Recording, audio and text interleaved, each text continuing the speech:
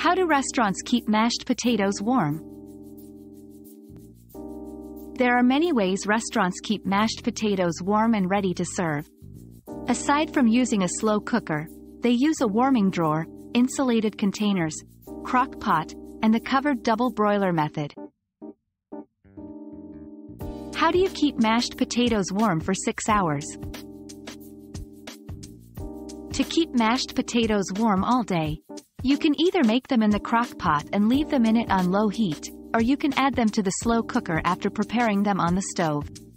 Just be sure to grease the insert with butter or cooking spray first to keep the potatoes from sticking. How do you keep mashed potatoes warm for 4 hours? Probably the simplest is to place the mashed potatoes in a heat-proof bowl over a pot of simmering water. You can cover the bowl with foil, or use a lid that fits over the bowl.